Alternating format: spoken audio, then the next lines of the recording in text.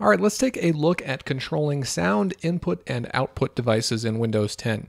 At various times, you may be connecting headphones, external speakers, or even external microphones to your Windows device, and Windows won't always be smart enough to recognize which of these devices you want to use, and it's not going to output sound or take sound in from multiple devices simultaneously. So at times, you may need to manually control this. This is how you do that. Go into your search box or Cortana and type sound. You want to open the option that takes you to the control panel. By default, you'll land on the playback tab. So this controls the speakers. This is the sound output. You can manually select any of the outputs that you see here.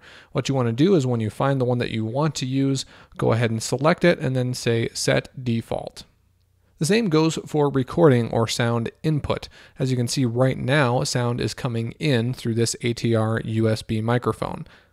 So the same goes there. If I wanted to go ahead and change it to the microphone array instead, I could select that and then choose set default. And that is how you control audio devices with Windows 10.